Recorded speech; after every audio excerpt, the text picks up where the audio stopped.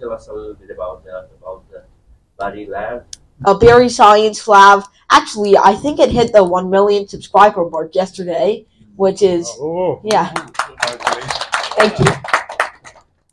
So uh, it was very nice to hear. So essentially, it's just the channel. Originally, it was just for uh, whatever purposes. So it was created after uh, my dad wanted to publish a video of me being interviewed by uh, the vice president of a college in New York City named Medgar Evers College. He was the first person. Uh, I think his name was Dr. Gerald Postman who heard about my math and physics skill. So he naturally chose to interview me in chemistry. So it was and it was really the thing that first escalated me to, I guess, uh, a higher level of fame. Thank you for replacing my microphone. This one is terrible. Okay. Oh, okay. All right. So, uh, after that, wait, is this one worse? yeah. That's How- all right. Go How for many microphones can you have? Yeah. Yeah, it's okay. Yeah. All right. So essentially, that's what first escalated.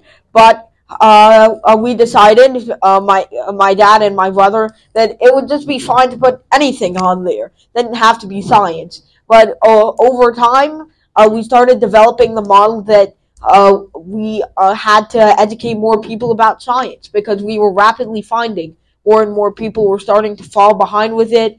More and more people were like, "I hate math." or I never liked math. And I and on the surface, I always say, yeah, that's good. Uh, sometimes math can be hard for some of us, but uh, deep down, I'm like, oh, uh, it's like sad to hear from the heart because I mean, you don't uh, say you're a history professor and then hear people saying, ugh, history is revolting. I hate history. History is not interesting at all.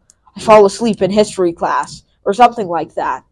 So uh, when you hear those kind of comments about math, it kind of hurts a lot more. So uh, as my dad was a physics teacher, he told me about this concept. Uh, he was hearing uh, more and more people say every day, "I'm so bored of physics. I hate physics." So we decided to make our channel more focused about spreading physics awareness. And in fact, I started making physics demonstration videos, uh, like uh, live uh, hands-on demonstrations with uh, lab equipment for uh, my dad's class at uh, his uh, my dad's physics class at his high school. So uh, that video, uh, those videos, along with other videos about math and science, soon attracted the attention.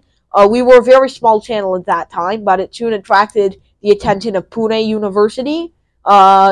I don't know if it's that well known here in Nepal, but it's pretty uh, known across India. So Pune Uni- uh, it's named after, I believe, Savitri Bai Phule, uh, uh, who was a female educator, uh, trailblazer for female education, and just like that, I hope to be trailblazer for scientific education. So uh, there, I talked mostly about not just scientific education, but also sp- spreading peace and understanding.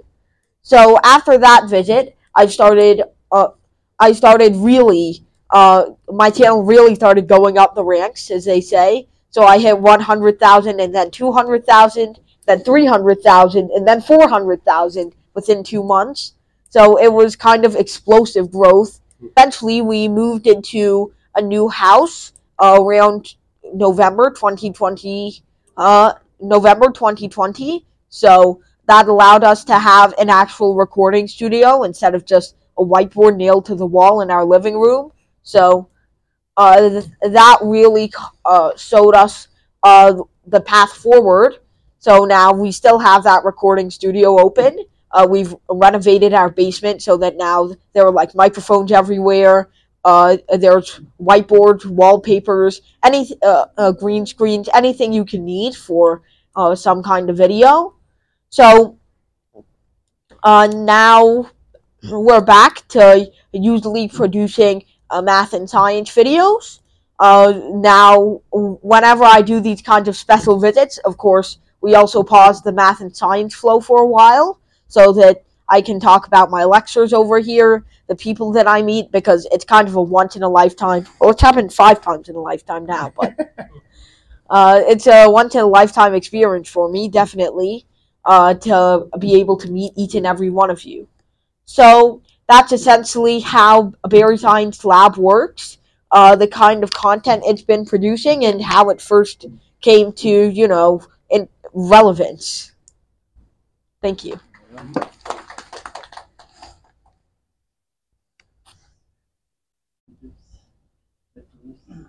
You can all subscribe to it on YouTube.